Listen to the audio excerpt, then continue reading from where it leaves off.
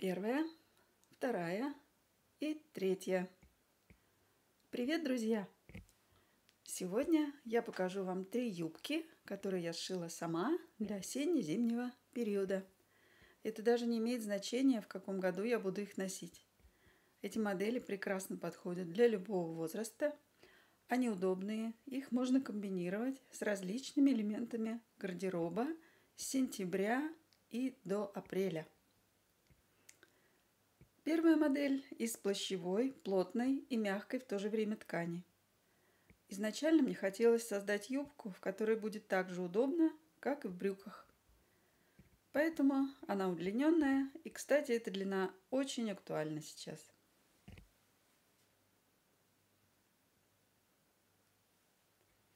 Зеркальная поверхность озера идеально гармонирует с тоном моего наряда, правда?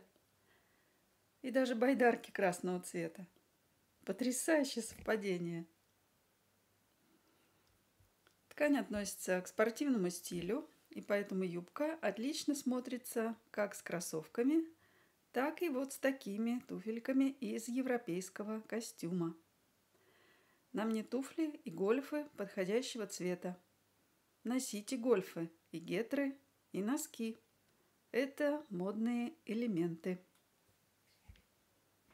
Поскольку моя юбка удлиненная, жакет к ней я выбрала покороче, спортивного кроя, и она дополнена замочками, которые совпадают по цвету с обувью. А в этой чудесной сумочке у меня всегда имеется водичка. Вы можете подумать, что это обсла или шнапс. В любом случае, будьте здоровы.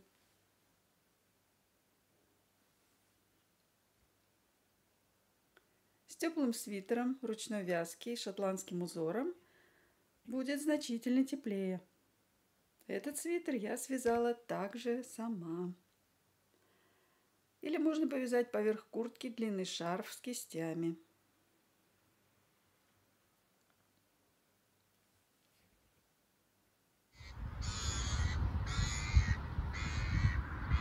Кстати, вы замечаете разницу между словами «надеть» и «одеть»? Как правильно употреблять эти слова? Одежду надеваем, надежду одеваем.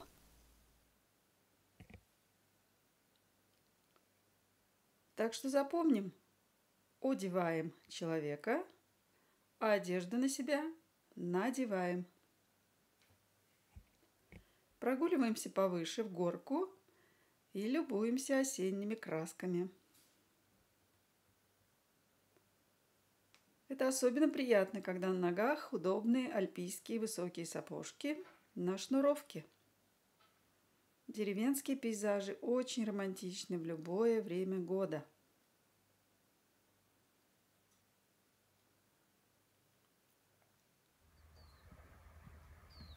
Поскольку в брюках мы будем ходить предстоящей зимой, сейчас хочется чувствовать себя еще легко и свободно. И для этого у меня есть юбка из мягкой ткани. Это шерсть с кашемиром, с узором пипита или куриная лапка по-другому.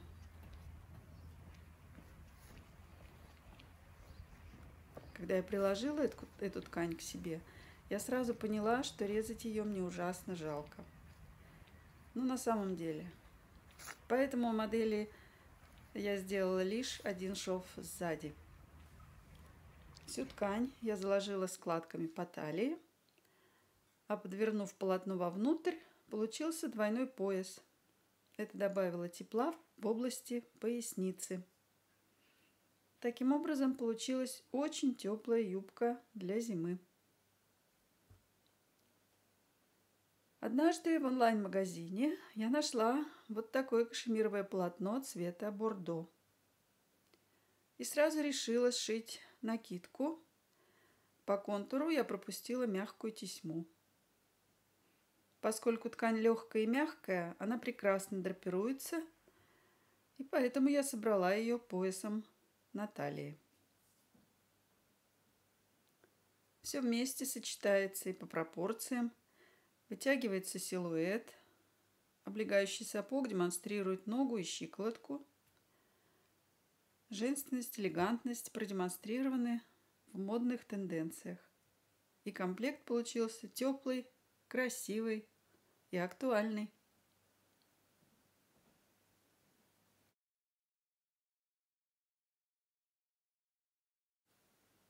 Как видите, боковые швы отсутствуют. В движении полная свобода и легкость.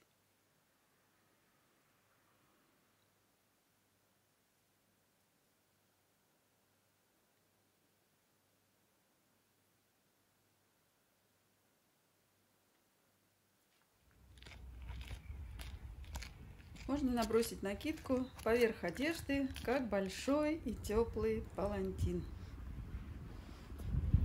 Люблю приходить сюда, чтобы посмотреть на эту очаровательную скульптуру. Девчушка познает мир круглый год в легком платье и с босыми ножками.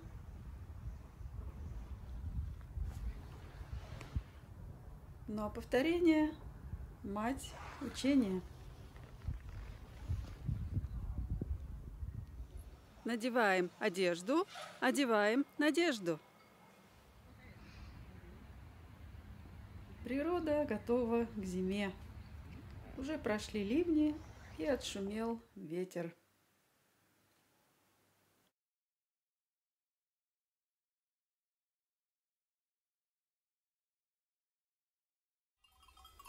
А барашки остались без шубы. Ничего, у них скоро новое вырастет. Лысенькие. Третья юбка согреет на протяжении всей зимы. Она сшита из стопроцентного кашемира и прямой удлиненный силуэт. Также отличная альтернатива брюкам. Это модель с запахом. Запах глубокий. В верхней части он создает двойной слой ткани – а внизу ножка открывается только от колена. Это не стесняет движения, позволяет делать шаг широким, как мы привыкли в брюках.